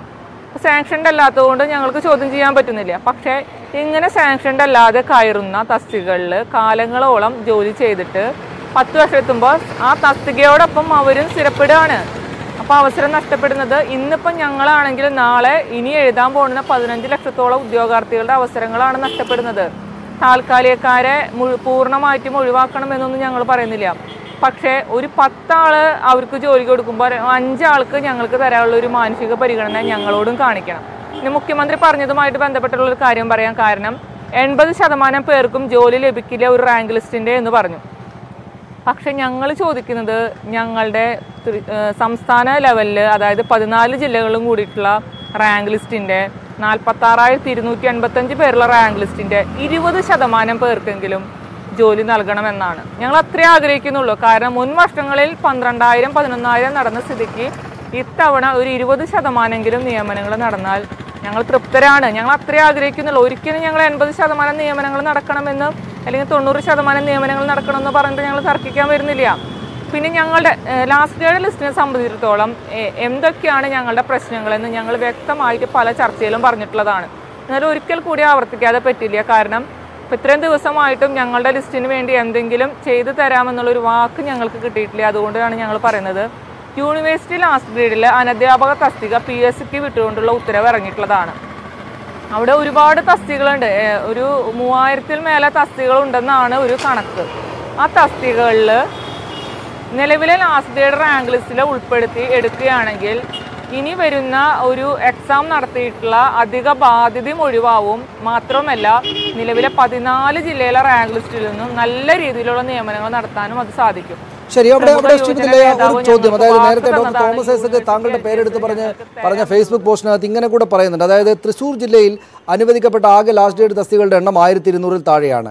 ഈ ഒഴിവുകളിൽ ഇപ്പോൾ ജോലി ചെയ്യുന്നവർ വിരമിക്കുന്ന ഒഴിവുകളിലേക്കല്ലേ പുതിയ ആളുകളെ നിയമിക്കാൻ കഴിയൂ? ഈ ലിസ്റ്റിൽ ഇതിനകം നാനൂറ്റിയഞ്ച് പേരെ നിയമിച്ചിട്ടുണ്ട് എന്നും വിസ്മരിക്കരുത്. അതായത് ആയിരത്തി ഇരുന്നൂറിൽ താഴെ തസ്തികകളുണ്ട്. അവിടെ വിരമിക്കുന്ന ഒഴിവുകളിലേക്ക് പുതിയ ആളുകളെ നിയമിക്കാൻ പറ്റൂ. നാനൂറ്റഞ്ച് ആളുകളെ അവർ നിയമിച്ചു.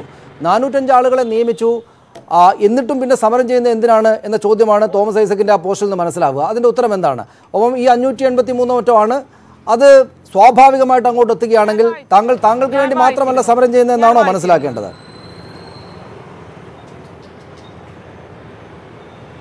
തീർച്ചയായിട്ടും. ഞാൻ എനിക്കും വേണ്ടി മാത്രമല്ല സമരം ചെയ്യുന്നത്. കാരണം ഞാൻ തൃശ്ശൂർ ജില്ലയിലെ റാങ്ക് ഹോൾഡേഴ്സ് പ്രതിനിധി എന്ന ആയിട്ട് ഞാൻ ഇവിടെ വന്നു. മാത്രമല്ല സംസ്ഥാന സംസ്ഥാന ലാസ്റ്റ് ഇയർ റാങ്ക് ഹോൾഡേഴ്സിന്റെ സെക്രട്ടറി എന്നുള്ള ഒരു ഉത്തരവാദിത്തം കൂടി എനിക്കുണ്ട്.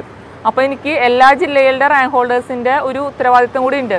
എനിക്ക് മാത്രം ജോലിക്ക് കയറാം എന്നുള്ളൊരു ചിന്തയല്ലല്ലോ എനിക്ക് ഞാൻ എത്രയും പെട്ടെന്ന് കയറി കഴിഞ്ഞാൽ എന്റെ പുറകിലുള്ള റാങ്കുകാർക്ക് അതിൽ കൂടുതൽ പേർക്ക് ജോലി കിട്ടുന്നുള്ളൊരു ആഗ്രഹം കൂടി ഉണ്ട്. പിന്നെ തോമസ് ഐസക് സാർ പറഞ്ഞതിന്റെ ഒരു കാര്യം കൂടി ഞാൻ കൂട്ടിച്ചേർക്കാണ്. അദ്ദേഹം പറഞ്ഞു ഇത്ര തസ്തികകളാണ് തൃശ്ശൂർ ലാസ്റ്റ് ഗ്രേഡിലുള്ളൂ എന്ന് പറഞ്ഞു. പക്ഷേ ഒരു തസ്തികയിലും അതിൽ കയറിയ ആളുകൾ വിരമിക്കുന്ന ഒഴിവിലേക്കല്ല പിന്നത്തെ റാങ്ക് ലിസ്റ്റ് വരുമ്പോൾ ജോലിക്ക് ആളുകൾ കയറുന്നത്. അതെങ്ങനെയാണ് ശരിയാവുക? എല്ലാ ഡിപ്പാർട്ട്മെന്റുകളിലും കൃത്യമായിട്ടുള്ള പ്രൊമോഷൻ ഐ ടി ഐ അങ്ങനെ ഒരുപാട് തസ്തികകളിൽ കൃത്യമായിട്ടുള്ള പ്രൊമോഷൻ ഇപ്പോൾ കോടതിയിലൊക്കെ ഇപ്പോഴാണ് കൃത്യമായിട്ട് പ്രൊമോഷൻ നടക്കുന്നത്. എല്ലാ ഡിപ്പാർട്ട്മെന്റുകളിലും കൃത്യമായിട്ടുള്ള പ്രൊമോഷൻ നടക്കുമ്പോൾ ഏറ്റവും കൂടുതൽ വേക്കൻസികൾ വരുന്നത് ലാസ്റ്റ് ഗ്രേഡിലാണ് കാരണം ലാസ്റ്റ് ഗ്രേഡ് റാങ്ക് ലാസ്റ്റ് ഗ്രേഡായിട്ട് കയറുന്ന ഒരാൾ കുറച്ച് പേരാണ് ലാസ്റ്റ് ഗ്രേഡ് ആയിട്ട് റിട്ടയർഡ് ആവുന്നുള്ളൂ. കാരണം കൃത്യമായിട്ട് പ്രൊമോഷൻ നടന്നാൽ അവർ വേഗം വേഗം ഉയർന്ന പദവികളിലേക്ക് എത്തുന്നുണ്ട്. അതെ അതെ. അതാണ് ശ്രീ ശിവദാസ് ഞാൻ എനിക്ക് കൂടുതൽ കേൾക്കണമെന്നുണ്ട്. സമയം എല്ലാവർക്കും കൊടുക്കാനുള്ളത് ഇല്ലാത്തതുകൊണ്ടാണ്. വളരെ നന്ദി. ഞാൻ ഞാൻ താങ്കളിലേക്ക് വന്നുകൊള്ളാം ഒരിക്കൽ കൂടെ. ശ്രീ ശിവദാസൻ ഇവിടെ സർക്കാർ ഈ സമരത്തിൽ നിന്ന് രക്ഷപ്പെടാൻ വേണ്ടി ചില കാര്യങ്ങൾ പറയുന്നു എന്നല്ലാതെ അവർക്ക് അവരുടെ കാര്യത്തെക്കുറിച്ച് നല്ല വ്യക്തതയുണ്ട്. കുട്ടികളുള്ള ആളുകളാണ് പലതരം ജീവിത പ്രാരബ്ധങ്ങളുള്ള ആളുകൾ വന്ന് തിരുവനന്തപുരത്ത് വന്ന് സമരം ചെയ്യുകയാണ്. അവർക്ക് അവർ പറയുന്ന ഉന്നയിക്കുന്ന കാര്യങ്ങളിൽ അത്രയ്ക്ക് കൃത്യമായിട്ടുള്ള ധാരണയുള്ളത് കൊണ്ടാണ് സമരം ചെയ്യുന്നത്. നിങ്ങൾ ഈ ഇത് രാഷ്ട്രീയം മാത്രമാണ് ഇതിന് പിന്നിൽ എന്ന് പറഞ്ഞിട്ട് ആകപ്പാടെ അങ്ങ് ബ്ലോക്ക് ചെയ്ത് കളയുന്നത് അവരെ ആകപ്പാടെ അങ്ങ് ക്ഷീണിപ്പിക്കാൻ ശ്രമിക്കുന്നത് ഒട്ടും ഗുണമല്ല ചെയ്യുക. അത് ശരിയല്ല ഒരു സർക്കാരിന്റെ ഭാഗത്തു നിന്ന് വരുന്നത്. ശ്രീ ശിവദാസൻ. സനീഷെ ഇവിടെ പറഞ്ഞിട്ടുള്ള മറ്റു ചില കാര്യങ്ങൾ കൂടി പരാമർശിക്കേണ്ടതുണ്ട്. അതിനകത്ത് രണ്ട് വ്യക്തികളുടെ പേരുകൾ ഇവിടെ പരാമർശിച്ചിട്ടുണ്ട്. ഈ ചർച്ചയിൽ പങ്കെടുക്കാത്ത ഒന്ന് ഷംസീറിന്റെ പേരാണ് രണ്ട് കെ കെ രാഗേഷ് എം പിയുടെ പേരാണ്. കെ കെ രാഗേഷിന്റെ ഭാര്യ അദ്ദേഹത്തിന്റെ ജോലി കിട്ടിയതുമായി ബന്ധപ്പെട്ട് ഇവിടെ അദ്ദേഹം ഒരു ദുസ്സൂചന നൽകുന്ന പരാമർശം നടത്തിയിട്ടുണ്ട്. പ്രിയ വർഗീസ് എന്ന് പറയുന്ന അവരുടെ കെ കെ രാഗേഷിന്റെ ഭാര്യ നേരത്തെ ഡിഫൻസ് സർവീസിലായിരുന്നു ഒരു പതിറ്റാണ്ടുകാലം ഡിഫൻസ് സർവീസിൽ വർക്ക് ചെയ്തത് അന്ന് എ കെ ആന്റണി ഉൾപ്പെടെ അന്ന് മന്ത്രിയായിരുന്ന സമയത്ത് ഒക്കെയാണ്. അത് ആ ശുപാർശക്കത്തിന്റെ അടിസ്ഥാനത്തിലാണെന്നാണ് ഇവർ പറയുന്നത്. പിന്നീട് അസിസ്റ്റന്റ് പ്രൊഫസറായി വന്നു. പിന്നീട് സർവകലാശാലയുടെ എഡ്യൂക്കേ വിദ്യാഭ്യാസ വിദ്യാർത്ഥി ഡീനായിട്ട് വന്നു. അപ്പോൾ കമ്മ്യൂണിസ്റ്റുകാർക്ക് ഇടതുപക്ഷക്കാർക്ക് സർവീസ് കയറിക്കൂടാന്നാണോ? ഷംസീറിന്റെ ഭാര്യ വളരെ പഠിക്കാൻ മിടുക്കിയായിട്ടുള്ള സുവോളജിയിൽ വളരെ ഉയർന്ന മാർക്കോടുകൂടി പോസ്റ്റ് ഗ്രാജുവേഷൻ പൂർത്തിയാക്കി റിസർച്ച് ഉൾപ്പെടെ പൂർത്തിയാക്കിയിട്ടുള്ള ആളാണ്. അവർക്കിപ്പോൾ കാലിക്കറ്റ് യൂണിവേഴ്സിറ്റിയിൽ അവർക്ക് നിയമനം കിട്ടിയിട്ടില്ല എന്നുള്ള ഒരു യാഥാർത്ഥ്യവും നിൽക്കുന്നുണ്ട്. ഞാൻ പറയുന്ന ഒറ്റ കാര്യതേ ഉള്ളൂ. കമ്മ്യൂണിസ്റ്റുകാരുടെ ഇടതുപക്ഷ പ്രവർത്തകന്മാരുടെ ഭാര്യമാർക്ക് എവിടെയെങ്കിലും ജോലി കിട്ടിപ്പോയാൽ അതെല്ലാം തെറ്റ് എന്ന് പറയുന്ന രാഷ്ട്രീയമുണ്ടല്ലോ. അത് ശരിയായ രാഷ്ട്രീയമല്ല നേരത്തെ ബംഗാളിലും കേരളത്തിലും കമ്മ്യൂണിസ്റ്റുകാരായിട്ടുള്ള ആളുകൾക്ക് ജോലി കിട്ടിപ്പോകും എന്നുള്ളതിന്റെ പേരിൽ ഇരട്ട വെരിഫിക്കേഷൻ വെച്ചിരുന്നു. അത് പണ്ട് കമ്മ്യൂണിസ്റ്റുകാർ അധികാരത്തിലിരിക്കുമ്പോൾ കമ്മ്യൂണിസ്റ്റുകാർക്ക് ജോലി കിട്ടുന്നതിന് ഇരട്ട വെരിഫിക്കേഷൻ തുടരണമെന്ന് നിങ്ങൾ ആഗ്രഹിക്കുന്നുണ്ടെങ്കിൽ അത് നടക്കുന്ന കാര്യമല്ല. ശരി. കമ്മ്യൂണിസ്റ്റ് പാർട്ടി പ്രവർത്തകന്മാരുടെ കുടുംബത്തിൽ പഠിക്കുന്നവരുണ്ട് അത് രാഷ്ട്രീയമായിട്ട് ശിവദാസൻ പക്ഷെ പി എസ് സിക്കാരുടെ സമരം ചെയ്യുന്ന ആളുകളുടെ പ്രശ്നങ്ങൾ അത് അവിടെയുണ്ട് രാഷ്ട്രീയമായി ശരിയായിരിക്കാം താങ്കൾ പറയുന്നത്.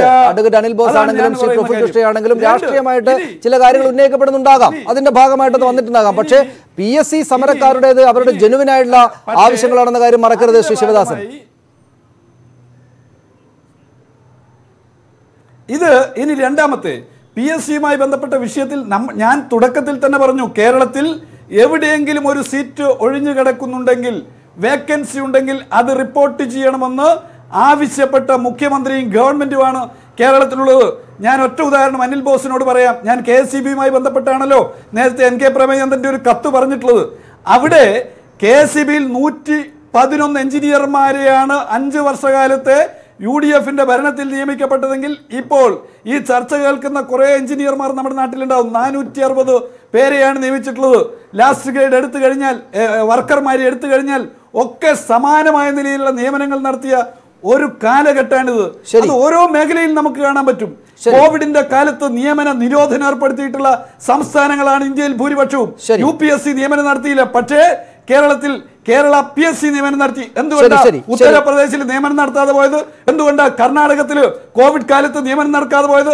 എന്തുകൊണ്ടാണ് കോൺഗ്രസിന്റെ മന്ത്രിസഭയുള്ള ഭരി കൂട്ടുകക്ഷി ഭരണം നടത്തുന്ന മഹാരാഷ്ട്രയിൽ നിയമനം നടത്താതെ പോയത്? വരാം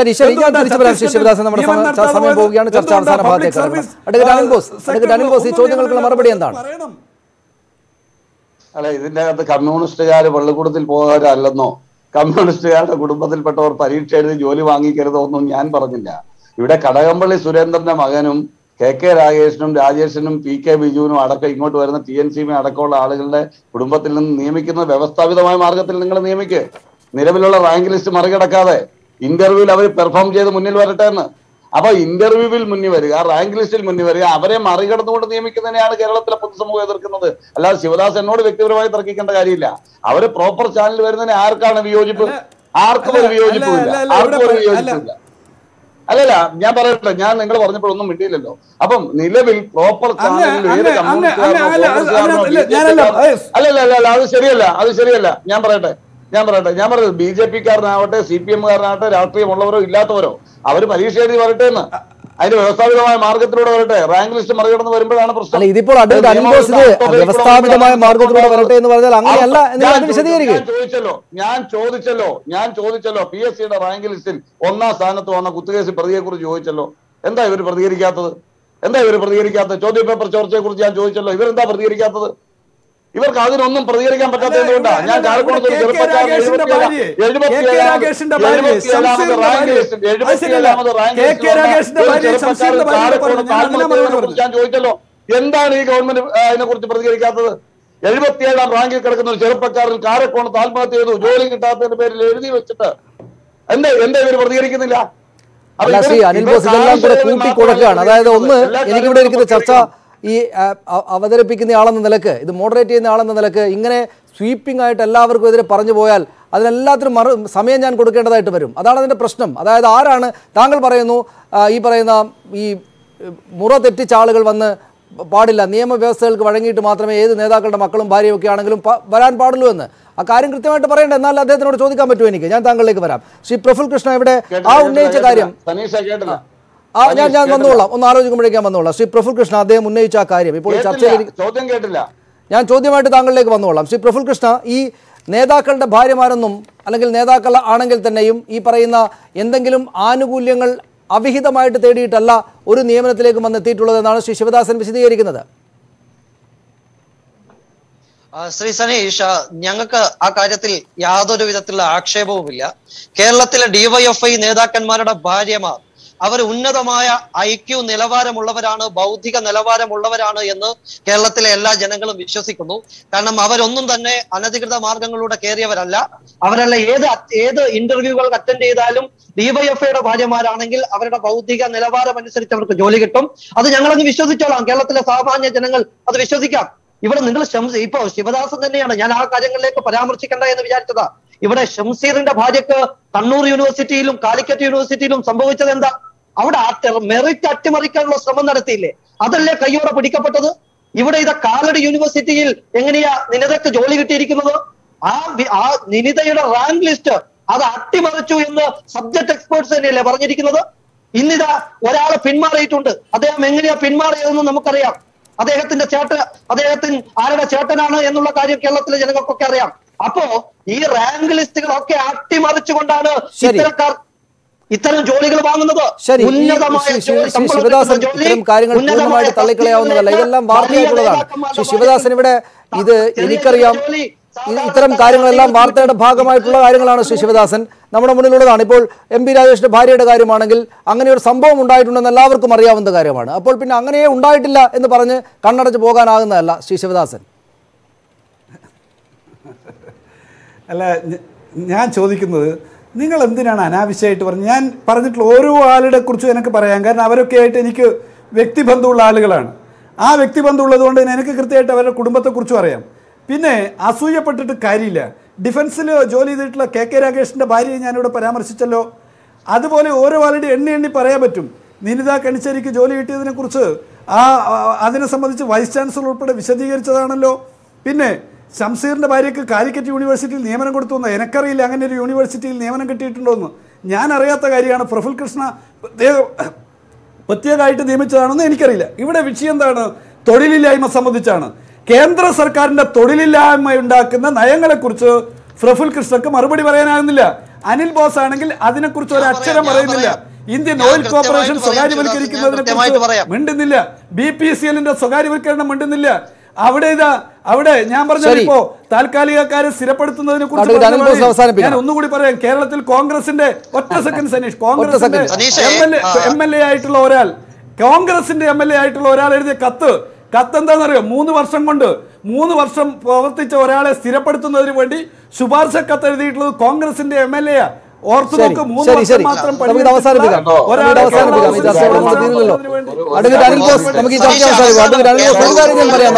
ചർച്ചയിലിരിക്കുന്ന ശ്രീ ശിവദാസൻ.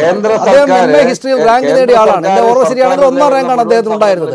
അപ്പോൾ ഡിവൈഎഫ്ഐക്കാർക്കും സി പി എമ്മുകാർക്കും കോൺഗ്രസ്സുകാർക്കും ബി ജെ പിക്കാർക്കും ഒക്കെ രാഷ്ട്രീയ നേതാക്കൾക്കും പ്രവർത്തകർക്കും ഒക്കെ വലിയ ഉന്നതമായിട്ടുള്ള വിദ്യാഭ്യാസ നിലവാരം ഉണ്ടാകുന്ന ഒരു തെറ്റായ കാര്യമൊന്നുമല്ലോ ശിവ ശിവദാസൻ തന്നെ അതിന് ഉദാഹരണമാണ്. അദ്ദേഹത്തിന് ഹിസ്റ്ററിയിൽ റാങ്ക് ഉണ്ടായിരുന്നു. അപ്പോൾ അങ്ങനെ അത്തരം കാര്യങ്ങൾ രാഷ്ട്രീയമായിട്ട് നിങ്ങൾ അങ്ങോട്ടും ഇങ്ങോട്ടും ഉന്നയിക്കുമ്പോൾ ശ്രീ അനിൽ ബോസ് ഈ ലയയെ പോലെ പാവപ്പെട്ട ആളുകൾ ജോലിക്ക് വേണ്ടി നിൽക്കുന്ന ആളുകൾ ഇതൊക്കെ കണ്ട് ഈ ചർച്ചകളൊക്കെ കണ്ട് ബേജാറായിട്ട് ആവശ്യമില്ലാത്തൊരു സമരത്തിലേക്ക് പോവുകയാണെന്ന് വന്നാൽ അത് ഗുണം ചെയ്യുകയില്ലല്ലോ അഡ്വക്കേറ്റ് അനിൽ ബോസ്. ചർച്ച അവസാനിപ്പിച്ചോളൂ. അല്ല ഇതിന്റെ റാങ്ക് ഹോൾഡേഴ്സിന്റെ സമരം എന്ന് പറയുന്ന രാഷ്ട്രീയമല്ലല്ലോ. ഇത് ബി ജെ പി കേന്ദ്ര സർക്കാർ സ്വീകരിക്കുന്ന സമീപനം എന്താ? അവർ സ്വീകരിക്കുന്ന സമീപനം അവർക്കെതിരെ ആര് സമരം ചെയ്താലും അതിൽ മത തീവ്രവാദം വർഗീയ തീവ്രവാദം ആരോപിക്കുന്നു. ഇവിടെ പിണറായി വിജയൻ സർക്കാരിനെതിരെ സത്യസന്ധമായി നടക്കുന്ന സമരങ്ങളെ രാഷ്ട്രീയ സമരങ്ങളാണെന്ന് വ്യാഖ്യാനിക്കുന്നു. ഇന്നലെ ഇന്നുമായി നടക്കുന്ന ചർച്ചകളിൽ ഞാൻ പുതിയ ഒരുപാട് ചെറുപ്പക്കാരെ ചാനലുകളിൽ വിവിധ ചാനലുകളിൽ കാണുകയുണ്ടായി. ഇവരിൽ ആരാ ഏത് ഇവരൊക്കെ കോൺഗ്രസ്സുകാരാണോ? ഇവരൊക്കെ ബി ജെ പിക്കാരാണോ? ഞാൻ പറയുന്നു ഈ സമരത്തിന്റെ മുന്നണിയിൽ നിൽക്കുന്ന ഒട്ടുമിക്ക ആളുകളുടെയും രാഷ്ട്രീയ പശ്ചാത്തലം ഞാൻ മനസ്സിലാക്കുന്നത് സി പി എമ്മിന്റെ ചെങ്കൊടി പിടിച്ചവരാണെന്നാണ് ഞാൻ മനസ്സിലാക്കുന്നത്. സി പി എമ്മിന് വേണ്ടി ഈ നിൽക്കുന്ന ശിവദാസ് വിളിച്ചതിനേക്കാൾ കൂടുതൽ മുദ്രാവാക്യം വിളിച്ചിട്ടുള്ളവരാണ് എന്നാണ് എനിക്ക് മനസ്സിലാക്കാൻ കഴിഞ്ഞിട്ടുള്ളത്. അങ്ങനെയുള്ള ആളുകൾ അവരുടെ ജീവൻ മരണ പോരാട്ടമാണ് അവരുടെ ജീവിതത്തിന്റെ നിലനിൽപ്പാണ് സനീഷെ. അതുകൊണ്ടാണ് അവർ കൊടിയുടെ നിറന്നോക്കാൻ സമരത്തിന് ഇറങ്ങുന്നത്. അവർക്കൊരു ജോലി എന്ന് പറയുന്ന അവരുടെ കുടുംബത്തിന് ജോലി കിട്ടാൻ വേണ്ടിയാണ് സാർ. അത് മനസ്സിലാക്കാനുള്ള ഔചിത്യം വേണം മാർക്സിസ്റ്റ് പാർട്ടിയുടെ നേതാക്കന്മാർക്ക്.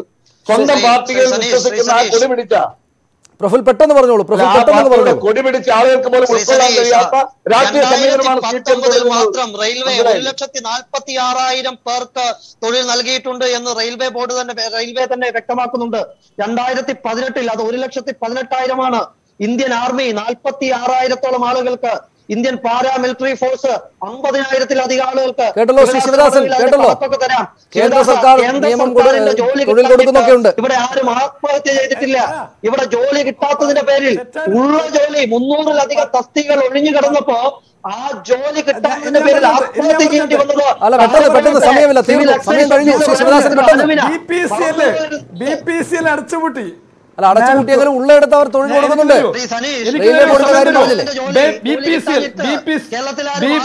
ഇല്ല റെയിൽവേ റെയിൽവേ ബോർഡ് തെറ്റാണ്.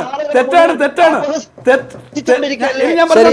ശരി ശരി വളരെ നന്ദി വളരെ നന്ദി. ഇനി പറയാൻ സമയം തരൂ എനിക്ക് സമയം തരൂ ഞാൻ പറയാം. വേണ്ട വളരെ നന്ദി വളരെ നന്ദി. അടുത്ത തവണ ആയിക്കോളാം ശ്രീ ശിവദാസൻ താങ്കൾ പറയുന്നത് എനിക്കറിയാം. വളരെ നന്ദി ഏതായാലും രാഷ്ട്രീയമായിട്ട് ഇത്തരത്തിലൊരു ചർച്ചയുണ്ട് തർക്കമുണ്ട്. രാഷ്ട്രീയമായിട്ട് ഉന്നയിക്കപ്പെടുന്ന ചില കാര്യങ്ങളെങ്കിലും വസ്തുതാവിരുദ്ധമായിരിക്കാം. ചില കാര്യങ്ങളെങ്കിലും. ഈ ചർച്ചയിൽ പങ്കെടുത്ത ആളുകൾ ഉന്നയിച്ച കാര്യങ്ങളെന്നല്ല ഞാൻ ഉദ്ദേശിച്ചത്. രാഷ്ട്രീയ ചർച്ചകളുടെ ഭാഗമായിട്ട് ഈ തൊഴിലുമായി ബന്ധപ്പെട്ട് ഉന്നയിക്കപ്പെടുന്ന പല കാര്യങ്ങളും ചിലപ്പോൾ അതിശയോക്തി കലർന്നതായിരിക്കാം ചിലപ്പോൾ വസ്തുതാവിരുദ്ധം തന്നെ ആയിരിക്കാം അത് നാട്ടിൽ അങ്ങനെ സാധാരണഗതിയിൽ നടക്കാറുണ്ട്. പക്ഷേ ഈ തൊഴിൽ തേടുന്ന ആളുകളുടെ സർക്കാർ തൊഴിൽ തേടുന്ന ആളുകളുടെ ബുദ്ധിമുട്ടുകൾ ഒരു വസ്തുതയാണെന്ന കാര്യത്തിൽ സംശയമില്ല. വെറും രാഷ്ട്രീയ പ്രശ്നത്തിന്റെ ഭാഗം മാത്രമായിട്ട് ആളുകൾ വന്ന് തിരുവനന്തപുരത്ത് വന്ന് സമരം നടത്തുകയാണെന്ന് വിചാരിക്കുക ഈ ഘട്ടത്തിലും സാധ്യമല്ല. സർക്കാർ വിശദീകരിക്കുന്ന കാര്യങ്ങളിൽ കുറേയേറെ ശരികളുണ്ടാകും. പക്ഷേ അപ്പോഴും അവരുടെ ശ്രദ്ധയെത്താത്ത മേഖലകളുണ്ടാകും ഇടങ്ങളുണ്ടാകും. അത് ബുദ്ധിമുട്ടുണ്ടാക്കുകയും ചെയ്യുന്നുണ്ടാകും. രാഷ്ട്രീയമായിട്ടുള്ള പിന്നിൽ കൂടൽ ഒരുപക്ഷെ മറ്റ് സംഘടനകൾ നടത്തുന്നുണ്ടാകും. പക്ഷേ തൊഴിലാളി ഈ തൊഴിൽ തേടുന്ന ആളുകളുടെ പ്രശ്നങ്ങൾ പ്രധാനപ്പെട്ടത് തന്നെയാണ്. അത് ആ നിലയ്ക്ക് തന്നെ കാണേണ്ടതാണ്. ആ നിലയ്ക്ക് കാണുമെന്ന് ഒരേ മുന്നറിയിപ്പാണ് ഇന്ന് അല്ലെങ്കിൽ ഉറപ്പാണ് ഇന്ന് മുഖ്യമന്ത്രി അദ്ദേഹത്തിന്റെ വാർത്താ സമ്മേളനത്തിൽ നടത്തിയത്. പക്ഷേ ആ ഉറപ്പ് വാക്കാൽ മാത്രം പോരാ. നിശ്ചയമായിട്ടും അത് അനുഭവത്തിൽ ആളുകൾക്ക് എത്തിച്ചേരേണ്ടതാണ്. ആ നിലയ്ക്ക് ഗുണം ചെയ്യുമായിരിക്കും ഇത്തരം ചർച്ചകളെന്നാണ് വിചാരിക്കുന്നത്. വളരെ നന്ദി ശ്രീ അനിൽ ബോസ് ശ്രീ വി ശിവദാസൻ ശ്രീ പ്രഫുൽ കൃഷ്ണ ശ്രീമതി ലയ ഈ ചർച്ചയിൽ പങ്കെടുത്തതിന് പ്രൈം ഡിബേറ്റ് പൂർണമാവുകയാണ്. നമസ്കാരം.